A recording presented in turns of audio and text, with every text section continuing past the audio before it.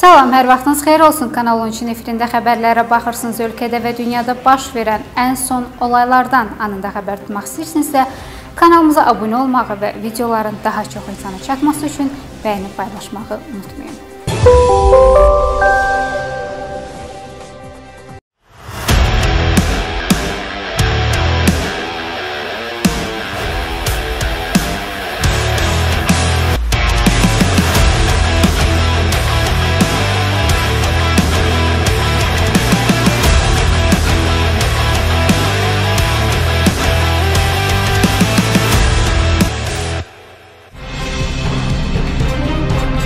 Bu gün Ali Məhkəmə Gəncə işi üzrə təqsirləndirilən 3 şəxsin qərarında dəyişiklik edib. Hakim Şahin Yusifovun sədrliyi ilə keçirilən məhkəmə prosesində Təqsirləndirilən şəxslər İrfan Məmmədov və Oqtay Hüseynzadəyə qarşı irəli sürülmüş qəsdən adam öldürmə, terrorçuluq, mütəşəkkil dəstə yaratma da daxil olmaqla 19 maddə ilə ittihama xitam verilib. Ali məhkəmə İrfan Məmmədovu ağır cinayəti gizlətmə, Oqtay Hüseynzadəni isə kütləvi ixtişaşları təşkil etmə və ya iştirak, hakimiyyət nümayəndəsinə qarşı zor tətbiq etmə maddələrində təqsirli bilib və çıxardığı hökmə əsasən Ürfan Məmmədovun cəzası 5 ilə, Oqtay Hüseynzadənin cəzası isə 10 ilə endirilib. Xatırladaq ki, Gəncə Ağır Cinayətlər Məhkəməsi təqsirləndirilən hər iki şəxsə 18 il hökm kəsmişdi. Təqsirləndirilən digər şəxs Abbas Abbasov isə külli miqdarda narkotik əldə etmə, saxlama maddəsi ilə verilən ittiham isə satış məqsədi olmadan şəxsi istehlak miqdarından artıq narkotik əldə etmə, saxlama maddəsinə tövsif edilib və onun cəzası 9 ildən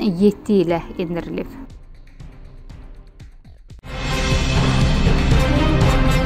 Bu gün Lənkəran Ağır Cinayətlər Məhkəməsində hakim Cavid Səfərlinin sədrliyi ilə Kürdəmir rayon icra hakimiyyətinin keçmiş başçısı Ceyhun Cəfərovun məhkəmə prosesi baş tutub. Məhkəmədə hakim hökm oxuyub. Hökmə əsasən keçmiş icra başçısı 8 il 6 ay müddətinə azadlıqdan məhrum edilib. Eyni zamanda 2 il 6 ay müddətinə də dövlət və yerli idarəetmə orqanlarında vəzifə tuta bilməyəcək. Ceyhun Cəfərov vəzifə səlahiyyətlərindən sui-istifadədə və rüşvət almaqda ittiham olunur. Lakin Lakin sabiq icra başçısı ithamları qəbul etmir. Xatırladaq ki, o keçən il baş prokurorluğun əməkdaşları tərəfindən həbs edilmişdi. Həbsinə qədər Cəfərov Kürdəmir rayon icra hakimiyyətinin başçısı, ondan əvvəl isə 3 il Tərtər rayonunda icra başçısı vəzifələrində çalışıb. Azərbaycan Gorus Qafan yolunda gömrük buraxılış məntəqəsi qurub. Bu barədə Gorus şəhərinin vitse-meri Karo Köçəryan jurnalistlərə bildirib. O deyib ki, Azərbaycan tərəfi yolda nəzarət məntəqəsinin tikintisini başa çatdırıb və məntəqənin qarşısında İran tırları keçmək üçün növbə gözləyir. Eyni zamanda ərazidə yanacaq doldurma məntəqəsi də inşa edilir. Merin jurnalistlərə verdiyi açıqlamaya əsasən Gorusda hərəkət məhdudlaşdırılıb. Xatırladaq ki, bir müddət bundan öncə İran tırları həmin ərazidən maneəsiz keçirdi və Ermənistan üzərindən Qarabağa qanunsuz yük daşıyırdı. İran tırlarının Azərbaycanın ərazisinə qanunsuz daxil olması Bakını yolda polis nəzarəti tətbiq etməyə və tranzit yük daşımaları haqqda qanunvericiliyin tələblərinə uyğun olaraq həmin maşınlardan yol vergisi tutmağa məcbur etdi. Bu məsələ İranla Azərbaycan arasında gərginlik yaratsa da bir müddətdən sonra ara sakitləşdi. İran öz yük maşınlarına Laçın dəhlizinə girməyi qadağan etdi və Gorus Qafan yolunun Qubadlıdan keçən hissəsi hissəsindən tranzit keçib Ermənistana getməyə görə yol vergisi ödəməyi də qəbul etdi.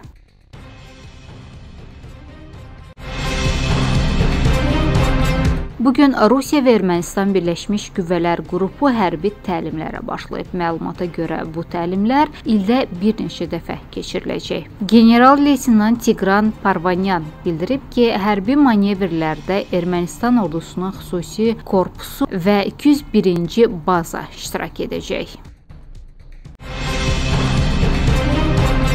Rusiyanın Rязan vilayətində fəaliyyət göstərən barıt zavodunda partlayış baş verib. Partlayış nəticəsində yanğın başlayıb. Rusiya ekiblərinin yaydığı məlumata görə zavodda 17 nəfər olub və onların 15-inin cəsədi tapılıb. Bir nəfər isə ağır yanıq xəsarətləri ilə xəstəxanaya yerləşdirilib. Bir nəfər isə itkin düşüb.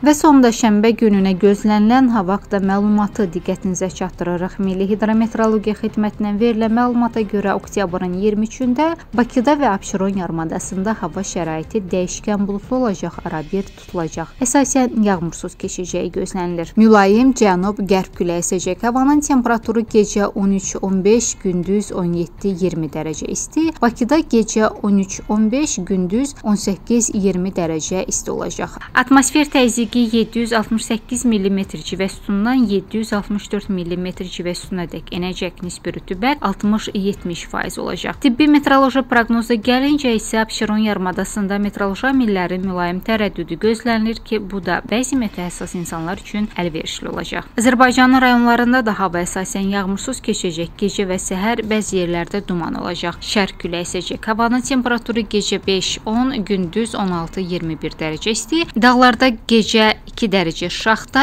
gündüz 2-5 dərəcə isti olacaq. Bax belə bu günlük və bu saatlıq bizdən bu qədər növbəti gündə görüşmək ümidi ilə hələlik